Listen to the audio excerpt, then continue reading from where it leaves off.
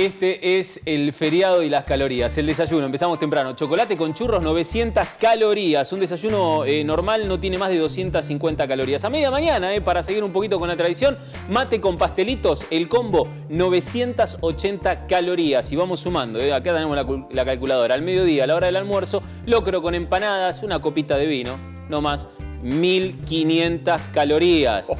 Después, a media tarde, el mate con tortas fritas, 980 calorías. Y el asado, es una exageración, ¿no? Este es el menú de alguien que se le ha ocurrido hoy.